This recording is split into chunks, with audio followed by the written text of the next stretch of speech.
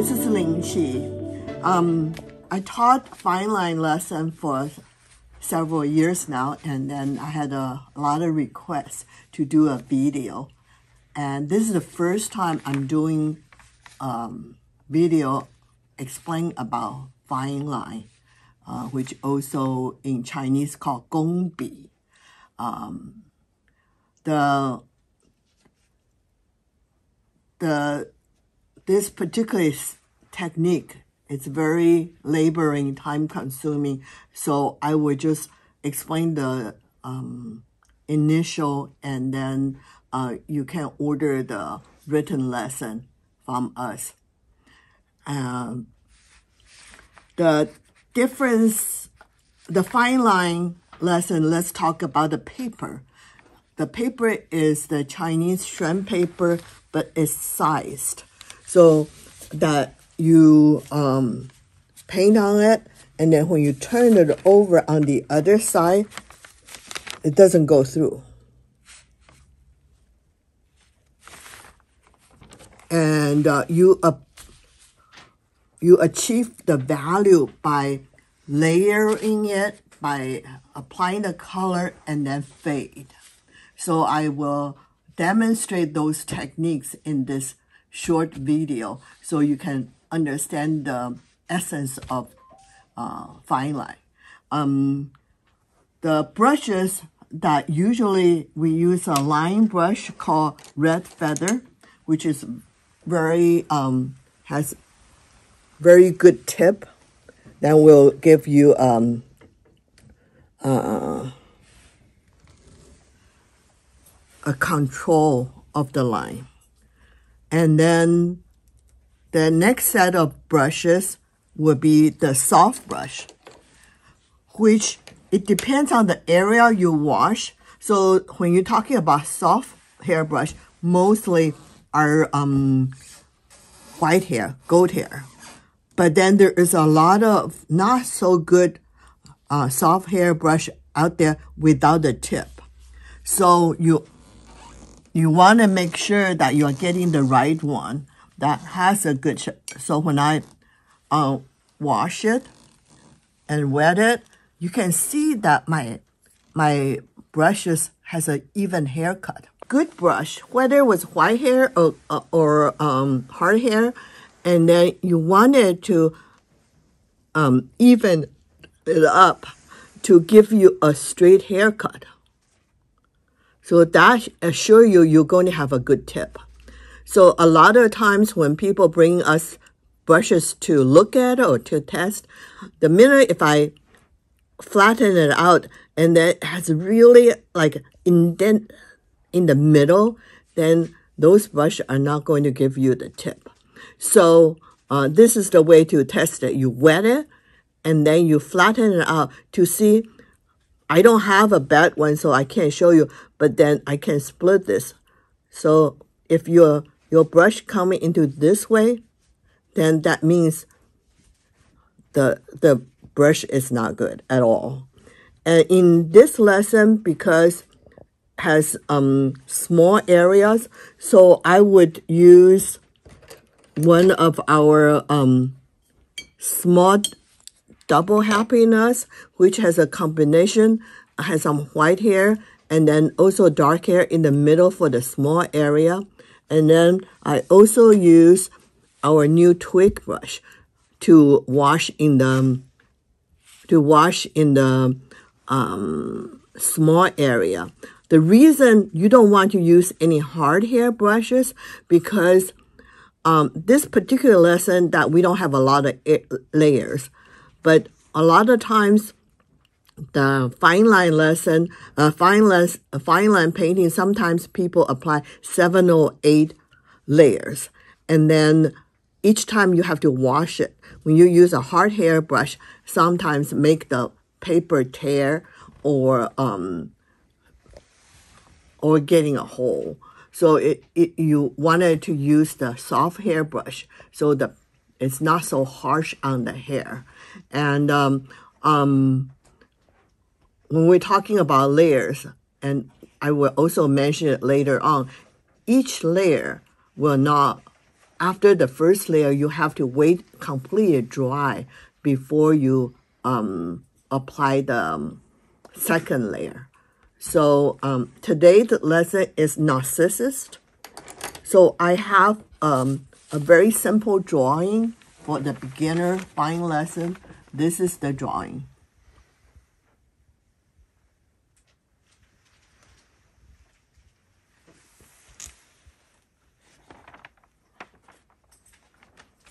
And I'm going to show you some line work. So if you never done fine line before, then this is something you need to really practice. Because if you don't have good line work, then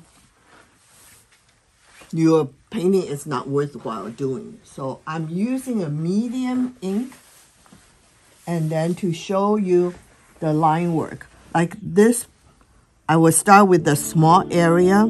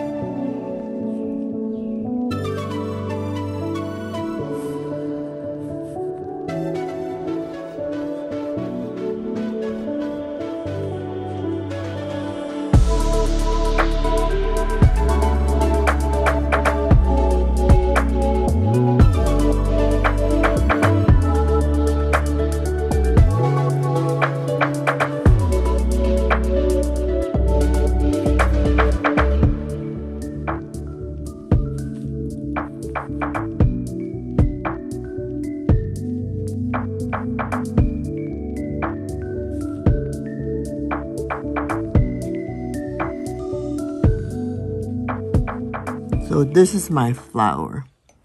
And then the flower, the line usually are more delicate should you show the value of the flower being soft. And then um, the leaves.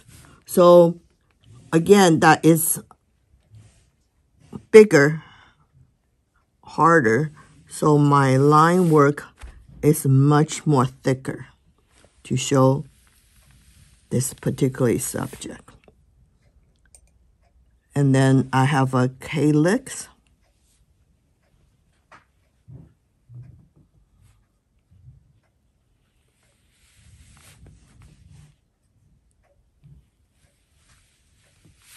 So this is what I would like you to practice a line work. You start what we call nail head and mouse tail. So you should be able to do a straight line vertically as well as horizontally. Or turning.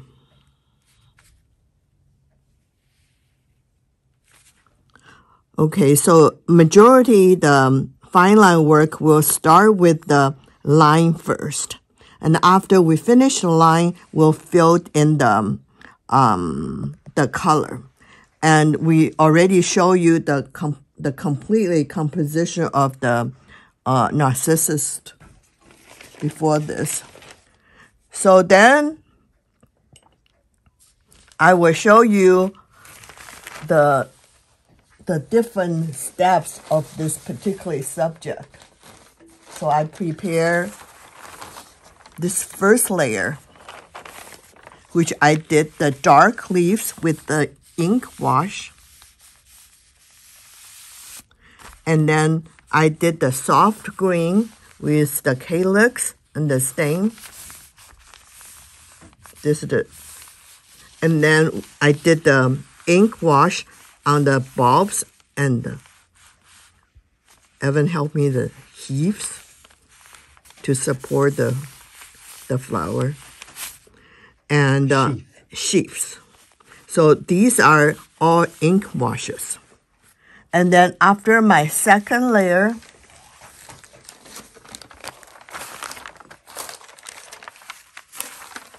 I wash the indigo over the dark leaves. And then I wash the sienna, add the ink into the um, the shade of ink on the sheaves and the bulbs.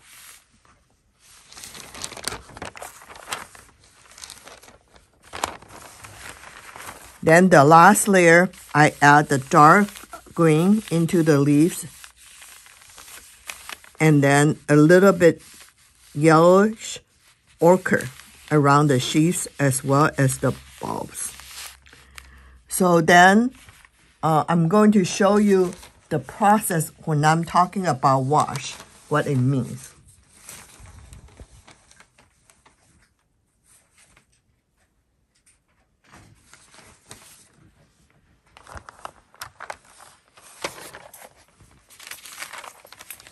So on the leaves, the first wash, I'm going to do the um, the ink wash. So I have two brushes. When you can see the hair is being used a little bit. And that's where I'm going to use the ink. And then I have also a clean brush, which I will use to fade and wash. So I do the light ink.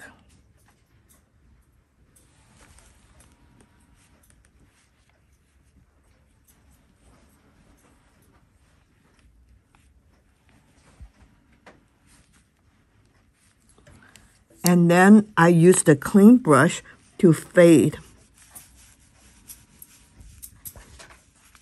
So the moisture control is like you do Xie Yi style.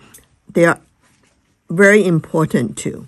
You can't be too wet, you can be too dark. So then I fade away. So there's one of the very important things that the beginner usually make mistakes. I will show it to you. So like I apply the ink, but I only fade on the edge of where I apply. The thing you don't want to do, say you apply the ink, and then you start making your face, you start using washing, you start going above the finishing line. So you go do this. So that's what happened is that one thing is going to make your work very messy, and then also you're pulling all the dark value away.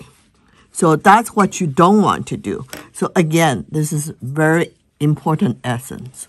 So when you apply the color, you only fade away at the edge. You do not go into beyond the edge. And then each time you wash, you want to have a paper towel to make sure that your wash brush is clean. So each wash, you apply this over. Okay, so this is the first layer for the leaves. Then we're talking about the center of the flower. This center of flower is very small area. So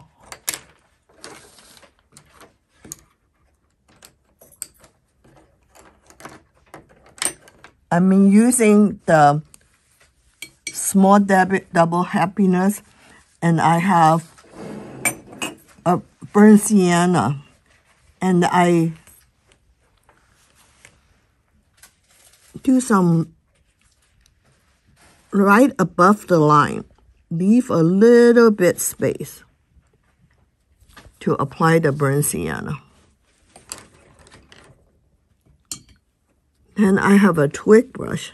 It kind of faded a little bit.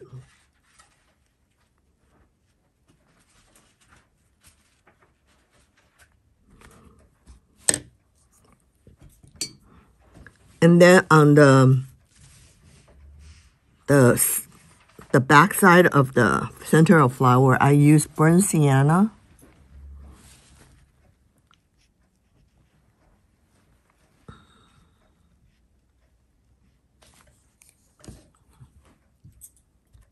Then I fade away.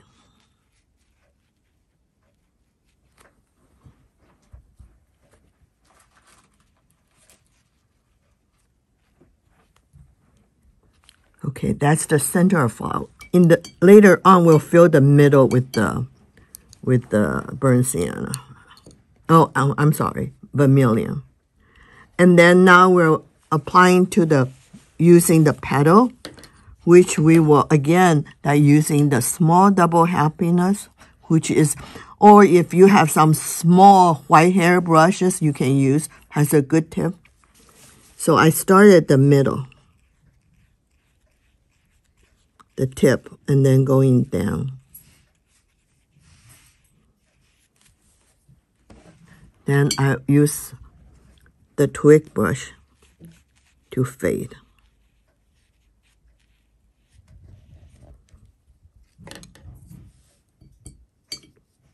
So that's the flower petal. The calyx, as well as the, um, the stain to hold the calyx, which I will use this interesting green, which is indigo.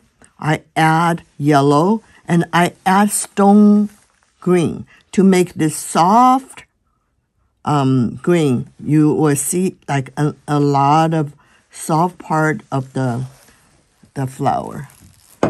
So then again, I started from the top and the bottom and I use the twig brush, which has a really soft and good tip. And I wash. So that's how I show the dimension. The same technique on the stain to hold the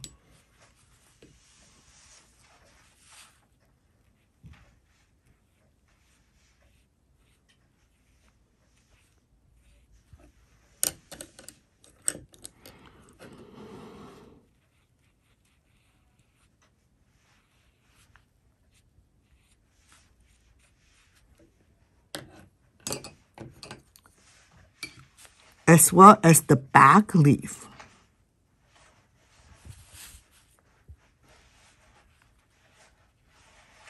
Back side of leaf. I'm doing the same thing.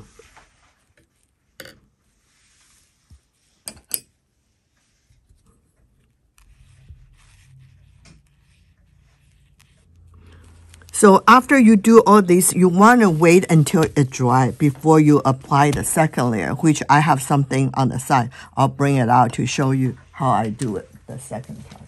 This is my, I'm using, I'm getting ready for the second layer. I did the ink wash on the heat sheath as well as the bulbs. And I did the ink wash on the leaves, the front of the leaves. So I'm going to use indigo for the dark leaves. So I clean the brush with the ink and now I'm applying the indigo where the ink was and just a little bit beyond.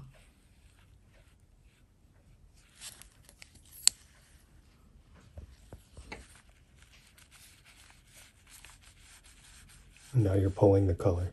I'm pulling the you're color. fading it. Fading. With a clean brush. With a clean brush. And then I dab the clean brush on the paper towel so it doesn't go beyond that. And then on the on the bulbs and the sheath, and I'm applying the um, The burnt sienna add a little bit ink, which make it dark brown.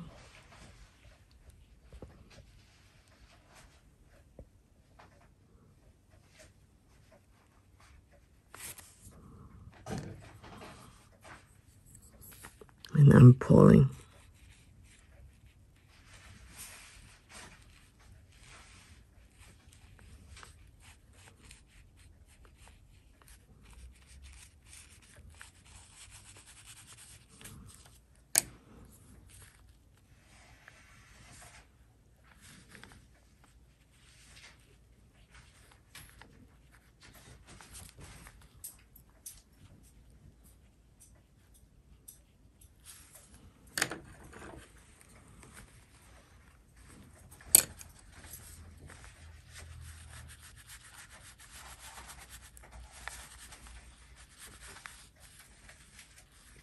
So each layer, you do a little bit more than the first layer.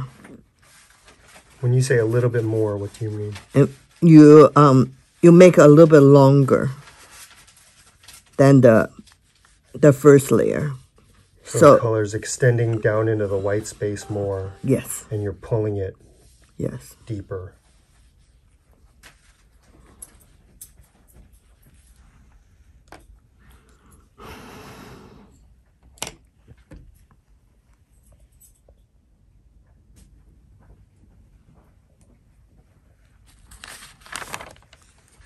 So now my first demo is pretty a little bit dry. So where the center of the flower, I had uh, burnt sienna. Now I'm going to add a little bit vermilion in the middle.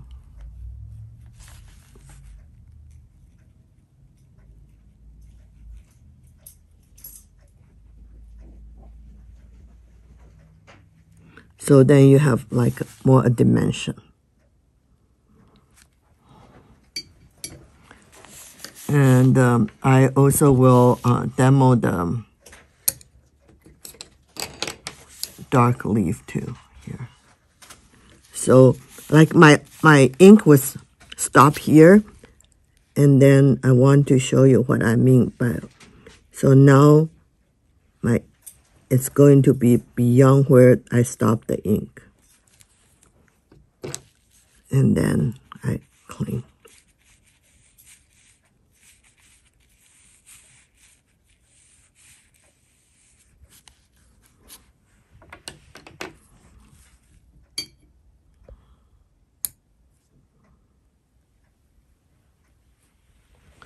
So in this subject, we make it pretty simple. Then um,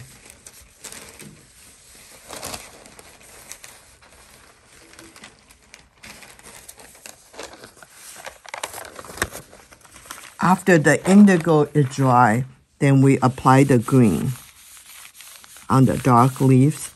The flower and um, the center of flower is done. And then we apply the this particular ochre, which I'm using indigo and um, yellow is the green, and I add a little bit vermilion and a little bit ver, ver, burnt sienna to achieve this ochre, which I show it to you, what color it looks like.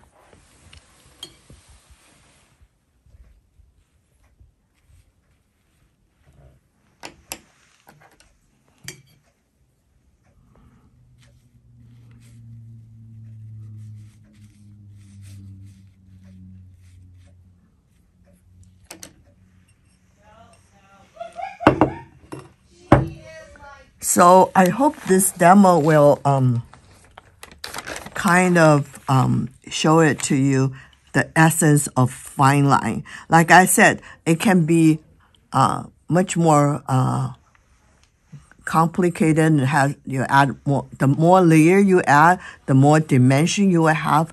But this particular lesson, our purpose to show you the difference between fine line and 写意.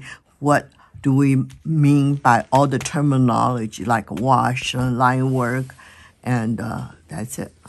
So the idea is you start with your line work, okay? And if somebody had our lesson, they could just trace the line work from the lesson, or you can draw it freehand if you're feeling more advanced and more comfortable or want to make your own little changes or tweaks to the composition. But you just do the line work with medium ink, and you are um, uh, also looking for variations in the lines. You don't want them to be uh, just straight and flat. Uh, they want to be, um, you know, some places thicker, some places thinner. Uh, and you are using a red feather brush to do the line work. Then the next stage is you do the initial fill. Um, can you show me that stage? Yes. The initial fill.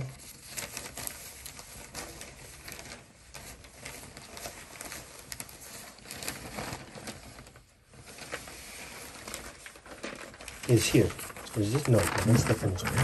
This is Okay, my so second. This is this is the this is this is the second stage of filling. We don't Yeah, have ex- a initial stage. the initial, this is the, the set, the first stage of coloring. The first stage of coloring. Yeah, So- the only difference is this one I did a demo on the Oh yeah, you added a second stage with the indigo. Yeah, Okay, but But everything else is all, only first. and the technique there is just leaving a, a hair line between the line work and the fill color in certain areas, and then applying the color downward, stopping early, and then using a clean brush to fade the edge of the line work into the white space. So you can see here the ink, uh, that stage finishes into white, but it fades nice and slow. And then after that, you're just applying uh, layers and layers. You're waiting for that fade work to dry or that color work to dry, and you're adding additional layers of color work uh, as you see fit or as the complexity of the painting demands. This is the second So that's the second layer. Where, we, where you added additional colors. And then when you add a, a, a second layer of color, you're finishing that layer of color slightly deeper into the white space than the previous layer. And then again, fading the edge into the white. And you just keep going and doing that until it's done or until the lesson sort of dictates that you're finished. Yeah, and so the more layer you put it on, um, the more depth of your painting will look. Um, and then the essence is that each layer should wait until the last layer dried. Okay, good. Can we see the final composition? Yes. You know, without everything else in the background.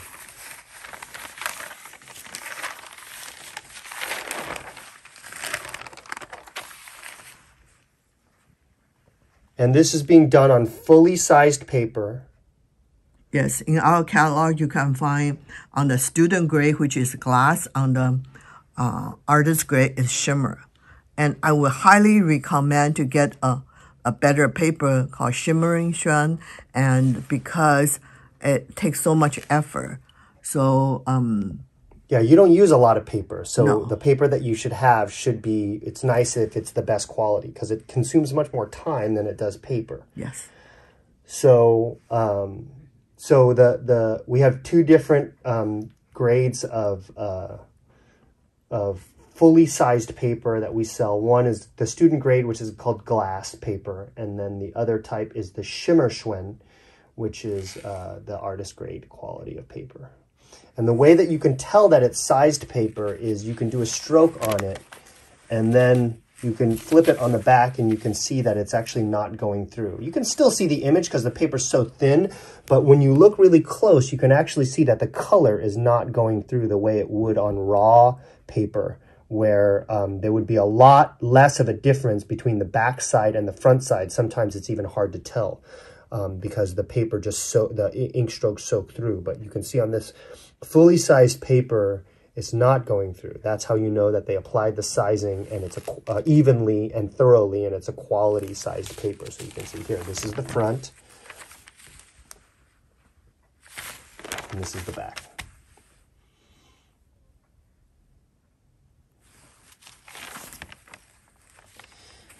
So once again, we hope you enjoyed this Narcissus lesson. Uh, this is a great flower for the new year because it, uh, it blooms early and um, it symbolizes wealth and prosperity. So it's exchanged a lot uh, amongst Chinese people uh, as gifts for the new year. And you can see that they, uh, during that time, a lot of them will have bulbs on their countertops that they received uh, from friends and they are letting them grow and letting them bloom and focusing on that to bring the new year in with health, wealth, prosperity, and peace.